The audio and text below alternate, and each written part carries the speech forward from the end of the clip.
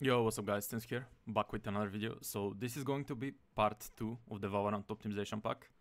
Um, it includes the same settings, it's just that I updated uh, most of the stuff inside. So let's begin. So as always, I'm gonna go practice match.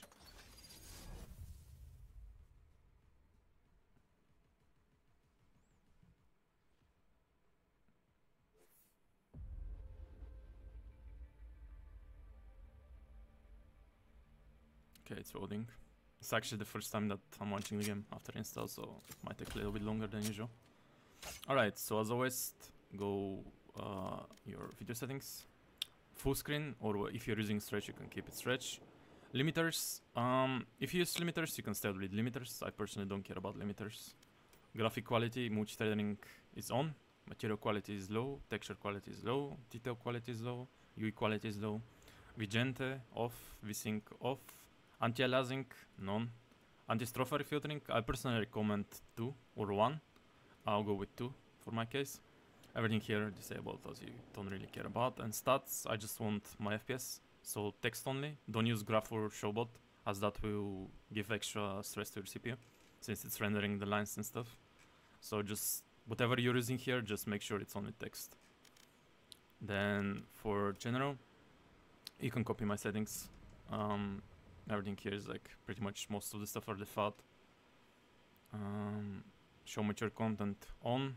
You can disable that as well, it's no matter. And then everything else is like pretty much off. And if someone is interested in the crosshair, then uh, I don't really know how to... Okay, primary. I had this crosshair for like super long time from like the past, so don't remember the settings for it exactly, but if anyone's interested in it, then that's the settings. And we're getting pretty much the cap FPS for Valorant, which is 1250 if you have reflex on. You can't really go on any further than that. That's like the max cap for reflex. So in this case, if you have like um, super high-end system like me, um, you don't really need reflex. I mean, yes, it will lower your latency, but if you're getting this high FPS already, it won't really do any difference. So, yeah. And also, for people that are like mid to low end, Reflex low latency will definitely decrease your latency. So your game will feel more snappier, but you're losing pretty much performance since reflex works with your CPU. So for it to work properly, it uses your CPU, and the higher you go from on, in this case on and boost, that's the maximum, the higher your CPU usage becomes.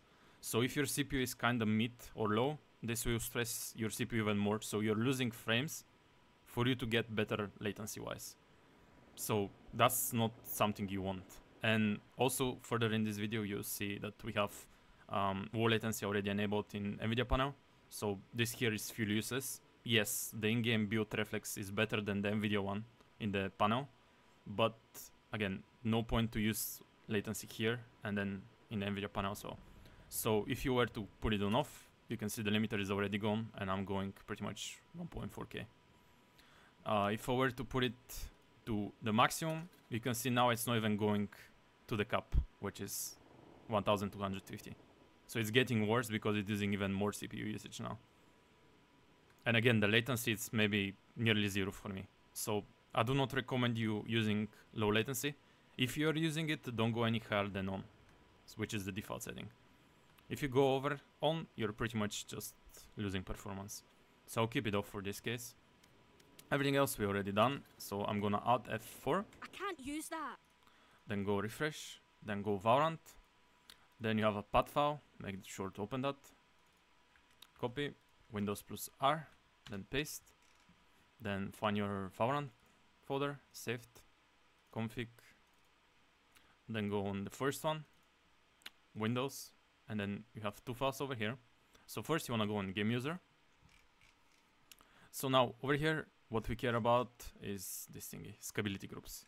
Now if you're playing Full HD or Stretch, obviously this is your resolutions, you can change them to whatever you're playing, but mainly what we care is over here. So shading quality, make sure that's on zero. Foliage quality, make sure that's on zero. Effects quality on zero. Texture quality is already on zero. Post processing, zero shadow quality 0, anti-aliasing 0, view distance. So now for view distance, if you go anything lower than two or three, you start seeing black spots on the map if you're like too far away, which by no means affect your visibility on enemies if you're playing a normal match. It's just mainly if you're watching for something super far in the distance. So I'll personally recommend doing like value of 2 or 1 or if you're really struggling for FPS you can do 0. So I'm gonna set it to 1 so you can see what I mean by that in game.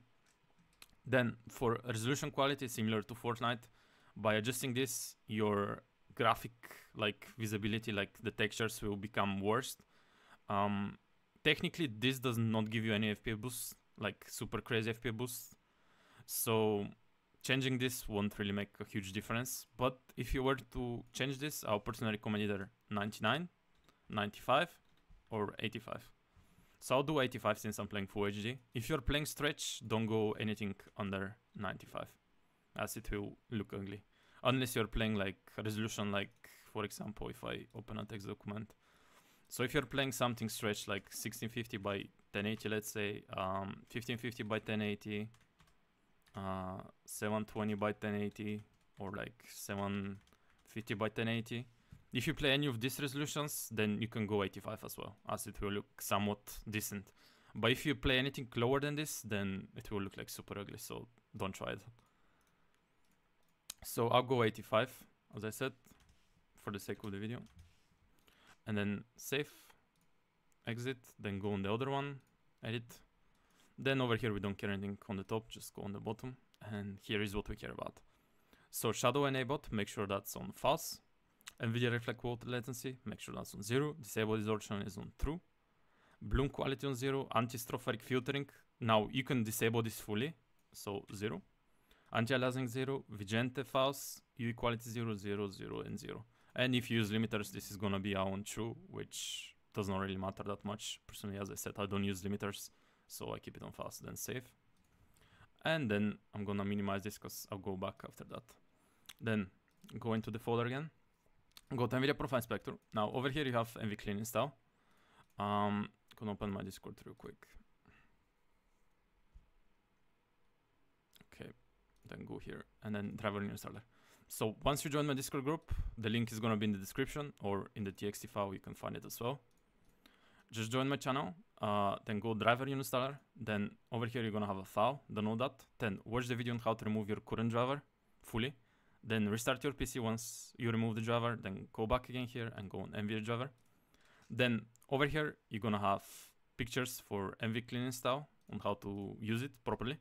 Then you have three versions of the drivers over here. So 53758 and 52225. Or you can use the latest one, which all three of this work perfectly fine. If you play more mainly Fortnite and Valorant, I'll probably recommend 53758 and 52225. Uh, I'm currently on 537. Then, from there, if you play other, also I forgot to mention, if you play other games like uh, Warzone, Cyberpunk, or stuff like that, I'll personally recommend 537 or newest one. I will avoid 522 since it's a little bit older and it's bad. Then follow the settings from the pictures. Uh, it has a red dot on like the settings you want. Over here you just want the driver, you don't want shadow play or like other bullshit that comes with it. Then copy the settings, install, and you're good to go. To go. Then from there, once you install the driver, just right click this. NVIDIA Profile Inspector, you're gonna have private v2, just hold it and then drag it inside NVIDIA Profile Inspector. It's gonna come with this message, then click OK. Then go temp cleanup, app data, make sure everything is deleted,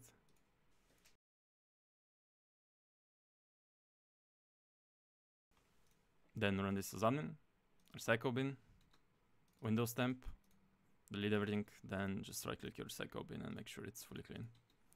Then also here I've added run daily or weekly. So you want to do this either whenever you start your PC, so whenever you're on this screen on desktop, just run it before playing games, or you can run it one or two times per week just to maintain like fully clean state. Then from there, you want to go on your Discord, go to the cogwheel, go to game overlay, make sure everything is disabled on game overlay. Register games, if they're throwing green over here, make sure the to-go detection and to-go overlay is disabled on both. Then advanced hardware acceleration, make sure that's disabled. Windows settings, make sure open Discord is disabled. Voice and video, go down. Make sure these three options here are disabled. Echo cancellation, Krisp, and game control is also disabled, which are personal choice for these three options here. And then the most important on the bottom, the quoting, make sure that's disabled as well. Then if you have a browser, go on your settings, uh, system, then graphics relation when enabled, disable, continue running background apps when Chromium is closed, disabled. And then another thing you can do is go on performance and memory saver. So if you are streaming or have your browser open a lot while playing games, like for listening music or stuff like that, and you have a lot of tabs open, I'll personally recommend using memory saver. So for example, I have two tabs right now. So Google and settings. So if I have this enabled and I'm just sitting on settings uh, on settings tab, the other tab is not using anything. So the memory is like lowered for using the second tab. But if I switch to it, then settings tab become not used. But if you have this disabled, both tabs are rendered at the same time. So technically you're losing performance or like RAM usage by just having these two tabs. So if you enable this, it's gonna be focused only on your main tab, and then the other one is will be like half of the performance, which will help you personally. Or if you don't use a browser at all whenever you're playing games, then you can just disable it. Then from there, you're pretty much good to go. You can go back, uh, actually, device manager. Uh, right click your Windows icon uh, in my case, I have OpenShell, so I have to shift right click, then go on device manager. It's gonna look like this. Then find where system devices, then click the arrow to expand it. Then you're gonna have high precision event timer enabled. So it's gonna look like this, for example, like fully blue. So just right click it and then it's gonna say disable device like this. You can see disable device just high precision, disable device, and you're good to go. In some cases, it might ask for restart. Just do the restart and then come back. This will help you with FPS, and sometimes your mouse will also feel way better after doing that. Then you can go back to Valorant. So, just gonna wait for it to open fully.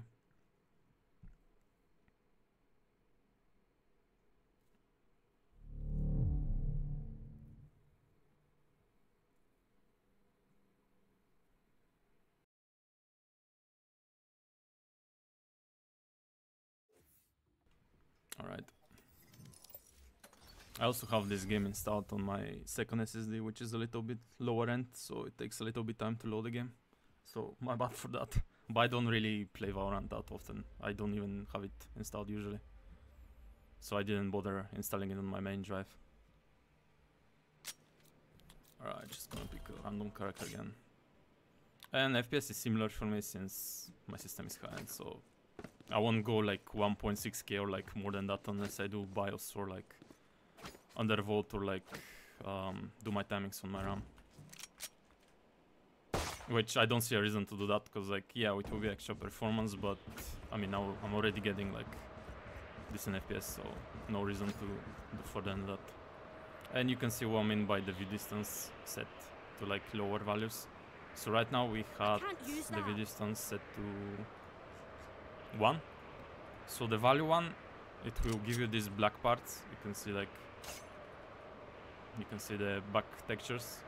For example this rock over here focus on it it's black but whenever I start going close to it you can see it disappears. Same with the textures over there they're getting rendered whenever I get close. You can see. Again this is only if you're like super far away.